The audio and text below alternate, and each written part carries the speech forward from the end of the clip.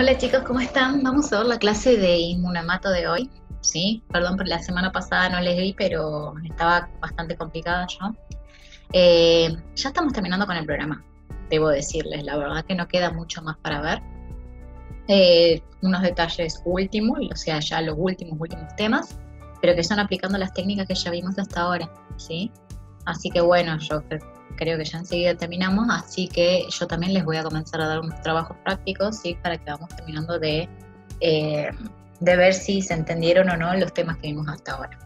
Pero lo que es contenido de la materia ya nos queda muy poquito. Eh, bueno, vamos a arrancar con la clase de hoy. Yo sé que siempre les digo que va a ser cortita y me termino prolongando como una hora, este, pero esta vez sí va a ser cortita, ¿eh? se los prometo. vamos a tratar que así sea. Bueno, vamos a ver hoy otros grupos sanguíneos, ¿sí? ¿Se acuerdan que nosotros ya vimos el grupo ABO, el P, el Lewis, el I, vimos el RH, y ahora vamos a ver otros grupos sanguíneos, Así que va a ser breve la clase de hoy, porque no es que lo vamos a ver a profundidad como vimos el grupo ABO y como vimos el grupo RH, Bueno.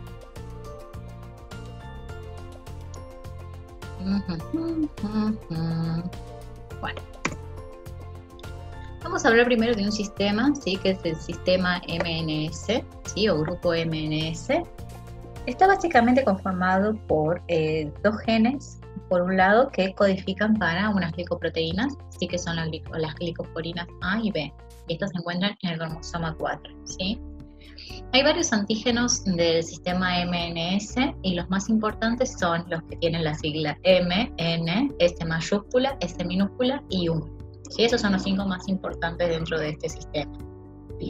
¿Qué diferencias tienen? Que por un lado tenemos dónde están localizados los antígenos MN y por otro lado se ubican en otra parte los otros antígenos S, S minúscula y U. Y ahora vamos a ver un poquito más de eso. El fenotipo más común ¿sí? es el M positivo, N positivo, o sea que expresa ¿sí? de forma codominante ambos antígenos.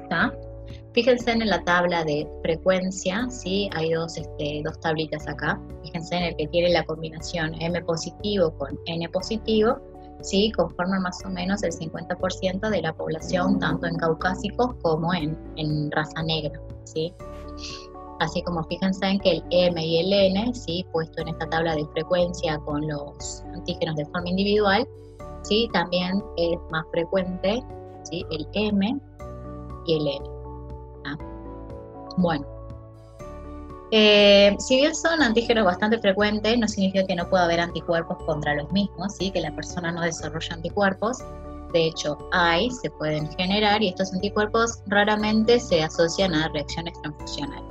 O sea que este, si el paciente tiene anticuerpos contra los antígenos M o N, ¿sí?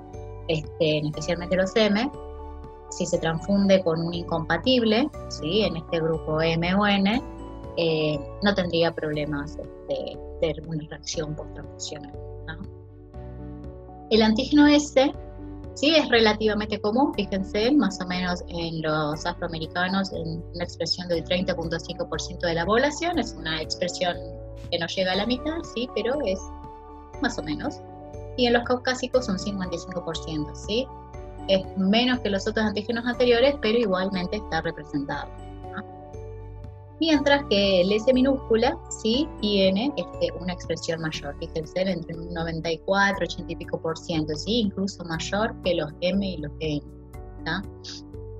De hecho, anticuerpos contra cualquiera de estos dos antígenos, en este caso, a diferencia de M y N, sí se han visto que este, generan reacciones transfusionales y se relaciona al desarrollo de enfermedad hemolítica del recién nacido en caso de incompatibilidad de estos grupos sanguíneos entre madre y el bebé. ¿sí? El antígeno U, fíjense en que es el que tiene mayor incidencia poblacional, ¿sí? básicamente está representado casi en el 100% de la población, ya sean afroamericanos o sean caucásicos. ¿sí? De hecho, existe una, una mutación ¿sí? que genera, eh, que es muy rara y que se tiene que expresar de forma homocigota, que genera que existan individuos que son U negativos, o sea, que no expresen este antígeno U, y eso se encuentra en descendientes principalmente de tipo africano. ¿sí? Lo que genera es que estos pacientes tengan anticuerpos contra S ¿sí? y S, ¿sí? S mayúscula y S minúscula. Esto es lo que yo les comentaba con respecto a separar el MN con el SS. Aquí tendríamos en el glóbulo rojo la glicoforina A y la glicoforina B. ¿sí? Los antígenos M y N. ¿qué diferencia tienen entre ellos dos? Se diferencian en dos aminoácidos ¿sí? que están ubicados en la posición 1 y 5. ¿sí? Eso es la única diferencia que tiene el antígeno M con el antígeno N. Y se unen a la porción N-terminal de esta este, proteína que es la glicoforina A. El grupo SS y el U ¿sí? este, se unen a la glicoforina B, ¿sí? a la porción N-terminal, pero en este caso de la glicoforina B y entre los antígenos S mayúscula y S minúscula hay una diferencia ¿sí? de un aminoácido. ¿ah? Bueno, el U, ¿sí? como dijimos, siempre va a estar presente cuando hay S y S. ¿sí? Siempre que tengamos S mayúscula o S minúscula, ¿sí? El antígeno U va a estar presente. Ahora, ¿por qué hay 46 antígenos diferentes? ¿Sí? Yo les dije que hay 46 antígenos diferentes del sistema MNS. Yo estoy viendo que solo tengo M, N, según sean positivos, negativos, combinaciones diferentes que estamos viendo acá y nos llegan a más de 3, 4, 5, 6, 7. ¿sí? U 8 en el caso del fenotipo MK. Eh, tiene que ver con las glicoforinas. ¿sí? Estas glicoforinas, ¿sí? que son las que están ancladas a la, a la membrana del glóbulo rojo y a la que están unidas los antígenos M, N, S y U, pueden tener a su vez sustituciones aminoácidas. ¿sí? Y eso es lo que aumenta y que en su conjunto la glicoforina unida a los M, N o S ¿sí? generen más antígenos. Bueno, les mencioné un fenotipo que es el MK. Este es un fenotipo muy particular ¿sí? que se caracteriza por la ausencia directamente de las glicoforinas. y No tiene ni glicoforina A ni glicoforina B, este tipo de paciente. Es un fenotipo muy particular y en consecuencia, si no tiene las glicoforinas, no va a anclar ni, el M, ni el N, ni el S, ni el U, ni nada. Entonces, este es una ausencia total prácticamente de lo que sería el sistema MNS pero su frecuencia es muy, muy, muy rara. ¿sí? De hecho, tiene una frecuencia poblacional de alrededor del 0.064%, ¿sí? o sea, menor del 0.1%. Es muy raro. Y no tendría ningún efecto en realidad sobre la persona, ¿sí? sobre los glóbulos rojos, no se han visto malformaciones en los glóbulos rojos por de glicoforinas. Este, bueno. Eh, otra característica que tiene este sistema ¿sí? es que eh, al menos los, los M y los N, ¿sí? son sensibles al tratamiento con enzimas. ¿sí? Cuando uno está haciendo, ¿se acuerdan que nosotros usábamos enzimas, se podía usar solución de gris, etcétera, para potenciar a veces las reacciones de aglutinación las tipificaciones, etcétera? Bueno, eh, si uno usa enzimas, ¿sí? determinadas enzimas, lo que hacen es romper ¿sí? esta unión del M o del N ¿sí? a la glicoforina A. Entonces, al ser sensible al tratamiento con enzima, ¿sí? estos se desligan y yo puedo no verlos. O sea que hay que tener cuidado al momento de hacer las certificaciones del grupo MNS de no usar tratamiento con enzima. No solo para la tipificación, sino que también hay que tener cuidado al momento de buscar anticuerpos contra MNS. Vamos a ver. Bueno, entonces, ¿qué es lo que dijimos? Que los anticuerpos anti-M anti-N que se pueden generar en un individuo no son clínicamente significativos, ya que en realidad son anticuerpos de tipo frío, sí que reaccionan a temperaturas menores a 37 grados. O sea que son anticuerpos que fisiológicamente no van a producirle ningún efecto ¿sí?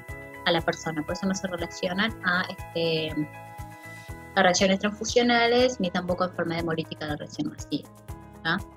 En cambio, los anti-S y los anti-S son eh, anticuerpos de isotipo IG, ¿sí? que pueden causar reacciones transfusionales graves y se relacionan también con el desarrollo de enfermedad hemolítica de recién nacida. ¿Y qué características más aparte pueden llegar a presentar este sistema? Bueno, sabemos que el antígeno U, como lo mencioné anteriormente, es un antígeno de alta frecuencia, ¿sí? por lo cual está representado en casi el 100% de la población. Era muy raro que alguien fuera un negativo, ¿sí? pero en caso de que sí lo fuera, este paciente va a tener anticuerpos anti-U. ¿sí? Y recordemos que el antígeno U está presente casi en el 100% de, de la población, entonces va a ser muy difícil encontrar para este tipo de pacientes U negativos un donante ¿sí? que sea del mismo grupo. ¿sí? A este tipo de individuos hay que transfundirlos con sangre del mismo grupo, ¿sí? que, tenga, que sean U negativos, que no expresen antígeno. Bueno, vamos a ver otro sistema. Eso es con respecto al MNS. Lo único que a mí me interesa que sepan del MNS es que se relaciona, ¿sí? Al menos eh, los anticuerpos anti-S mayúscula y anti-S minúscula, ¿sí? A lo que serían reacciones transfusionales graves y enfermedad hemolítica de recién masiva, ¿sí? El cuidado que hay que tener con el tratamiento de enzimas para evitar que se este, desligue el M y el N, ¿sí? De la glicosporina A y que yo los pueda ver. Este, y bueno, el caso particular del antígeno U, ¿sí? que aquellos individuos que son U negativo va a ser muy difícil encontrarle este, un, donante de sangre compatible, ¿sí? porque es muy poco común encontrar un U negativo. ¿Qué pasa con el sistema KEL? Este otro sistema, ¿sí? otro grupo sanguíneo, está constituido por dos antígenos mayores. Existen más de 20, sí, pero los más comunes son la K mayúscula, que es el grupo KEL, que está representado en menos del 9% de la población, y luego tenemos la K minúscula, que es el grupo celano, ¿sí? que está representado en mayor del 90% de la población. Eh, tanto los genes de la K mayúscula y la K minúscula ¿sí? son codominantes y se ubican en el cromosoma 7. Se encuentra bien desarrollado sea este antígeno al momento del nacimiento. ¿sí? ¿Se acuerdan que por ahí que cuando hablábamos del agua decíamos que por ahí la expresión no era muy buena cuando era recién nacido, etcétera. Bueno, no, este antígeno se encuentra bien representado ya al momento de nacer, ¿sí? Este, es muy inmunogénico. De hecho, es si el antígeno D era el más inmunogénico, el que le sigue es el KEL, ¿sí? El antígeno K es el más, es el más inmunogénico luego del antígeno D, ¿sí? ¿Esto qué significa?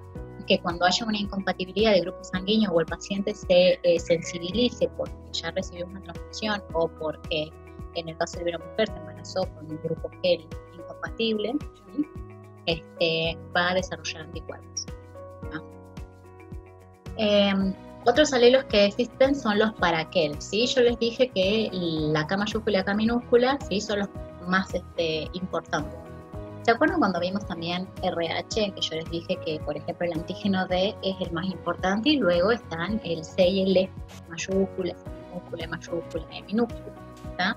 Bueno, lo mismo pasaría acá. ¿sí? Dentro del que los más importantes son la K mayúscula y la K minúscula, pero también existen otros antígenos dentro de este sistema, ¿sí? que son los para qué. Entre ellos tenemos los antígenos KP, ¿sí? que tenemos el KPA, que tiene muy poca frecuencia, fíjense que la frecuencia poblacional en realidad es menor al 2%, y luego tenemos los KPB, cuya frecuencia poblacional es casi el 100%. Y luego, aparte de esos, tenemos los antígenos JS, ¿sí? lo mismo, tenemos un JSA y un JSB. ¿sí? El JSA es más frecuente ¿sí? en población afroamericana ¿sí? y muy poco frecuente en población caucásica. Y el JSB es casi parejo en ambos, ¿sí? Y es bastante frecuente. Fíjense que está entre un 80 y el 100%, ¿sí? De la representada en la población general. Bueno, ¿qué pasa con el sistema? ¿Qué son estos antígenos? Los antígenos KEL están unidos, ¿sí? Por este puente disulfuro este, a glicoproteínas. O sea que esto significa que van a ser sensibles al tratamiento con ciertos químicos, ¿sí? Como el 2-mercaptoetanol, eh, ¿sí? Va a sonar, el 2-mercaptoetanol les tiene que sonar porque este, lo vimos para High Lo vimos en High para tratamiento para eliminar esos, este, estos anticuerpos que nos estaban este, molestando. ¿sí? Teníamos que romper esas IgM y se hace con 2-mercaptoetanol que lo que hace es romper los puentes de sulfuro. Lo mismo hace el DTT. ¿sí? El DTT rompe los puentes de sulfuro y lo mismo que la ET. ¿sí? son este, reactivos que justamente este, a veces se usan para eliminar IgMs, ¿sí? para sacar esas interferencias de IgM o porque yo quiero diferenciar si lo que yo estoy viendo es una reacción por IgM o por IgG, entonces hago un tratamiento ¿sí? del suero con alguno de estos reactivos para sacarme la IgM de encima y volver a testear y ver si era una reacción por IgG. Bueno, ¿qué pasa con el sistema GEL? Hay que tener cuidado porque los antígenos GEL, ¿sí? Como les dije, están unidos a glicoproteínas por puente disulfuro, por lo cual si en el medio vamos a estar usando estos reactivos, los voy a romper. Eh, tanto los KEL como los paraquel, ¿sí? Tanto los KEL como los paraquel son destruidos por este compuesto. Entonces la detección ¿sí? de anticuerpos anti no puede hacerse usando estos reactivos. Por ejemplo, como les mencionaba, el DTT que rompe la IgM este, y la diferencia de la IgG. Ahora, ¿qué tipos de anticuerpos suelen desarrollar igual los individuos contra estos antígenos del gel? Suelen ser principalmente de isotipo IgG.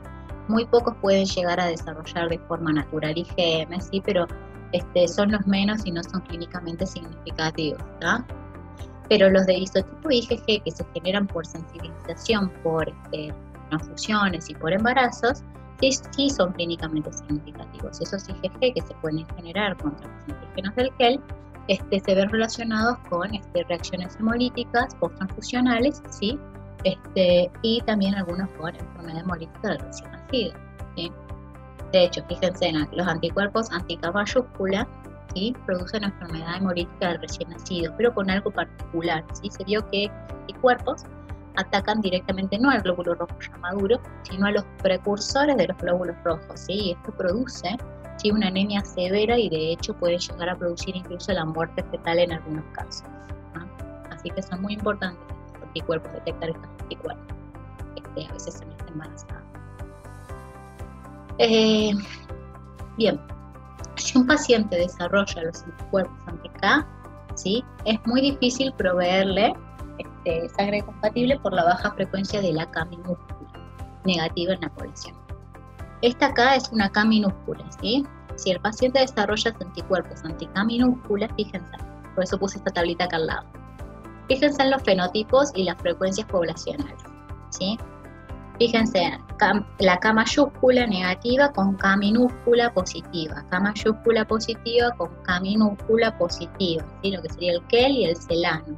KEL positivo, celano positivo, KEL negativo, celano positivo y acá sería que el positivo, celano negativo. ¿Sí? Fíjense en la frecuencia.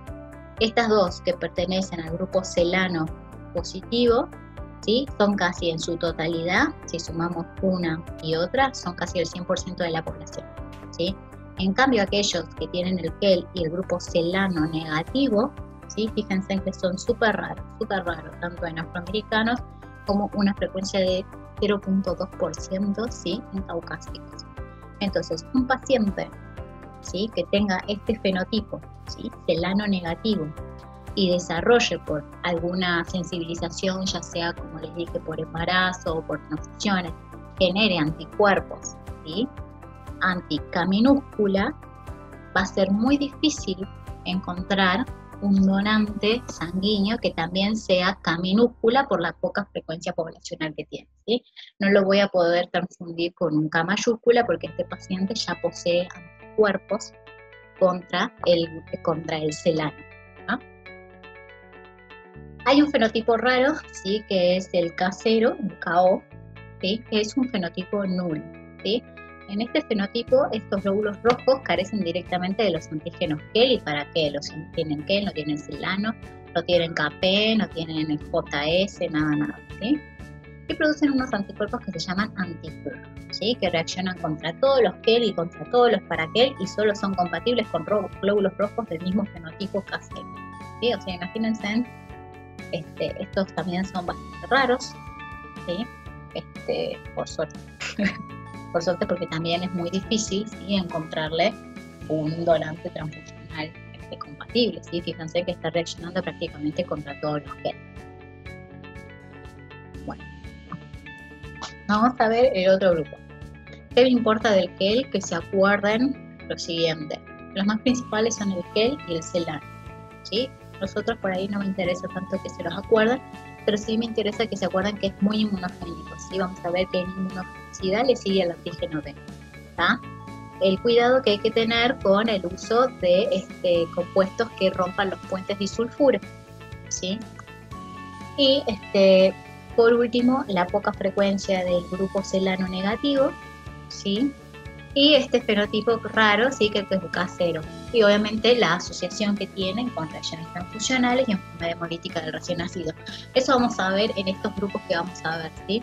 Que por lo general todos generan eh, por eventos sensibilizantes, ya sean por embarazos o porque el individuo recibió una transfusión, es si su sistema inmunológico va a generar anticuerpos. ¿Se acuerdan cuando vimos RH? Que yo les dije que este, para el RH uno no tiene anticuerpos naturales como los que tenía eh, frente a antígenos que eran de, de tipo hidratos de carbono que uno genera anticuerpos ya naturales, que era lo que pasaba en el agua, ¿sí? Que cuando hablemos de proteínas, como son las que estamos viendo en estos sistemas, de estos nuevos grupos, el MNS, el GEL, vamos a ver el DAF y el KIT, sí, también son proteínas como el antígeno de RH, ¿sí? Entonces, los anticuerpos que se van a generar van a ser consecuencia de eventos sensibilizantes, ¿sí? Que el sistema inmune va a tener este, un contacto con ese antígeno extraño y recién va a generar los anticuerpos, ¿sí? No los genera de forma natural. Por eso siempre digo que este, se generan en respuesta a transfusiones, ¿sí? Y se generan en, también en respuesta a embarazo, ¿sí? Eventos que se llaman eventos sensibilizantes, Y eso genera también que pase lo mismo que con el D, que sean anticuerpos principalmente de isotipo IgG. Entonces van a ser anticuerpos, eh, son lo que se llaman anticuerpos calientes, son anticuerpos que pueden producir, ¿sí? que pueden atravesar placenta y producir enfermedad hemolítica del recién nacido, y también son anticuerpos clínicamente significativos en lo que son las reacciones transfusionales. vamos a ver con todos estos, estos grupos que vamos a ver ahora. ¿Qué pasa con el grupo DAFI? Y este es otro grupo sanguíneo. Ya vimos el MNS, el KEL, y ahora vamos a ver el DAFI. ¿sí? Estos, eh, los genes del grupo DAFI ¿sí? se encuentran en el cromosoma 1 y se expresan también de forma codominante. ¿sí? Eh, ya se encuentran bien desarrollados al momento del nacimiento, o sea que ya se están expresando normalmente en la superficie del lóbulo rojo. ¿sí? Y estos que vemos acá al costado son los fenotipos que pueden llegar a ver según los antígenos. ¿sí? Los antígenos son el FIA y el FIB. ¿sí? Entonces acá tenemos los fenotipos FI, ¿sí? A positivo, B negativo, ¿sí? que ambos sean positivos, que este sea positivo, luego tenemos uno raro, que es el FI con ambos negativos. ¿sí? De hecho, el gen FI, ¿sí? que sería el fenotipo de acá abajo, este, es recesivo. Nosotros vamos a tener entonces el gen FIA, FIB, que van a codificar para los antígenos FIA y FIB. Y por otro lado tenemos el gen FI, ¿sí? Pero este FI, a diferencia de los otros eh, anteriores, ¿sí? que son codominantes, este es recesivo, ¿sí? Y es muy raro en población caucásica. Fíjense en que en los blancos, ¿sí? Es un fenotipo raro, ¿tá? Pero vemos la alta frecuencia que tiene en población afroamericana o descendientes africanos, ¿sí? 68% de la población de negros lo expresa. Este gen FI, como les comentaba, es recesivo, ¿sí? lo cual significa que yo necesito ser homocigota para FI. Y se encuentra expresado, como les dije, en población africana, particularmente en zonas con malaria. ¿Por qué en zonas con malaria? Porque este fenotipo que se genera, ¿sí? el FI, que es A negativo y B negativo, ¿sí? hace resistente a los glóbulos rojos a la invasión de parásitos de malaria, que son el Plasmodium vivax y el Plasmodium knowlesi. ¿sí? Lo que pasa acá es que este grupo sanguíneo en particular, estos este, antígenos del grupo GAFI, son receptores de entrada para el parásito de la malaria. ¿sí? Entonces, es normal es lógico que la naturaleza haya generado una resistencia hacia este, la invasión de los mismos y en este caso fíjense en cómo eh, se ve este gen FI, que no expresa ni el A ni el B, ¿ah? y que en consecuencia, fíjense cómo se expresa alto en la población que lo necesita, ¿sí? que son la, población africana, porque ellos están en la zona de riesgo este, del desarrollo de malaria. Entonces esto los, protege este, de, las infecciones por malaria. Así que eso es lo único que me importa del DAFI. que se acuerden eh, más que nada que eh, se asocia a malaria, ¿sí? que hay un fenotipo especial, que es el fenotipo FI recesivo, ¿sí? que se expresa en afroamericanos y que eh, se relaciona con la resistencia al ingreso a la, invasión por parte del parásito de los parásitos relacionados a la malaria. Em, otra consideración que hay que tener con respecto al grupo DAFI, también son destruidos por la acción de enzimas. ¿Se acuerdan que vimos el MNS? ¿sí? Les, les, mencioné que, por ejemplo, las enzimas y el uso de enzimas en los ensayos podía hacer que el MN se desprendiera de la glicosporina. Bueno, los antígenos DAFI sí son destruidos por enzimas y aparte se deterioran en un periodo corto de tiempo, ¿sí? en suspensiones celulares preparadas con lis o con solución salina. No nos olvidemos que nosotros hacemos suspensión de glóbulos rojos, ¿sí? este, y la hacemos en solución salina y a veces la hacemos en solución de lis. Así que es algo que se tiene que este, procesar relativamente rápido para no perder el grupo DAFI. Los anticuerpos que se desarrollan contra los antígenos del DAFI ¿sí? son de isotipo IgG. Y como les vengo mencionando ya desde un principio, son productos de la estimulación frente a transfusiones y embarazos. ¿sí? Por transfusiones y por embarazos, el sistema inmune ve este, si hubo una transfusión incompatible en DAFI o embarazos y hay una diferencia entre los grupos sanguíneos entre la madre y el bebé, sí pueden desarrollar anticuerpos contra los antígenos del DAFI. Y estos anticuerpos, en caso de que el paciente los haya generado, puede causar reacciones transfusionales y enfermedad hemolítica del recién nacido. ¿sí? Son anticuerpos, como les mencioné, de isotipo IgG. Vamos a ver el último grupo, ¿sí? el grupo KID. ¿Qué pasa con este grupo? También están presentes dos genes, ¿sí? que están también de expresión codominante, ¿sí? seguimos con las expresiones codominantes, en este caso están localizados en el cromosoma 18, ¿sí? Y los antígenos son el JKA y el JKB. A, B, A, B, ¿sí? No es tan complicado. Y se encuentran ya bien expresados al momento del nacimiento. Acá tienen los diferentes este, fenotipos, tanto genotipos como ferotipos, y las frecuencias poblacionales, ¿sí? Fíjense, eh, como este, ah, acá me faltaron los asiáticos, ¿sí? Porque las frecuencias en asiáticos es diferente, pero bueno, en, esta tabla que les puse no, no está. Sí, pero fíjense que hay un fenotipo muy raro que es el JK, negativo, sí, que es raro tanto en afroamericanos como en caucásicos. ¿Qué pasa con el desarrollo de los anticuerpos anti-DAFI? Los anticuerpos anti-DAFI, anti cualquiera de los antígenos del DAFI, son de isotipo IgG, como venimos diciendo, son producidos por respuesta embarazos y transfusiones, como todo lo que venimos diciendo en los grupos anteriores, ¿sí? pero tienen una, una, particularidad, es que los anticuerpos que se generan ¿sí? varían en su avidez, o sea, en su fuerza de unión final, ¿sí? y el título que es de estos anticuerpos. De hecho, hoy pueden tener un título y mañana pueden disminuir y puedo no detectarlo.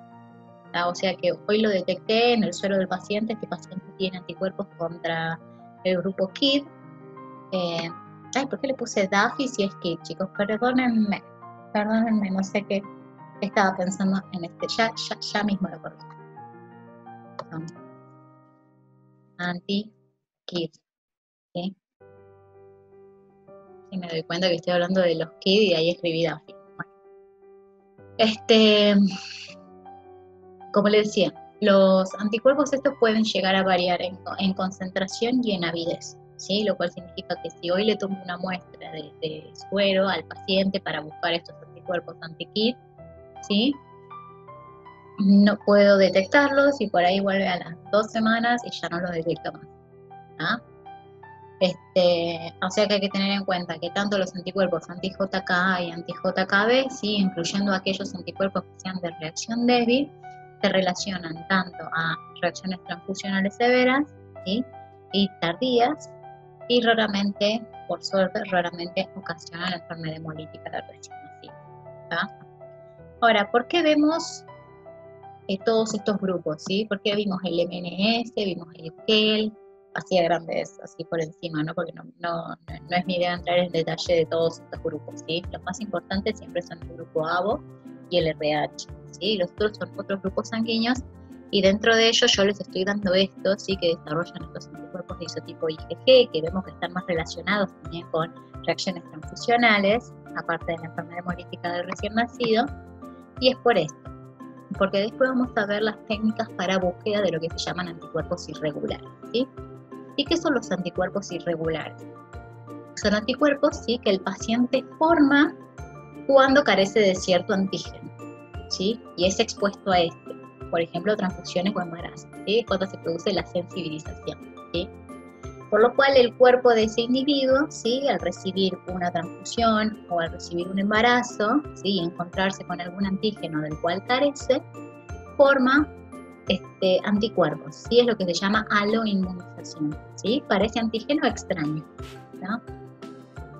Entonces una vez que genera esos anticuerpos, en una segunda oportunidad, cuando entra en contacto con ese mismo antígeno con el cual se sensibilizó, sí va a generar una respuesta inmune.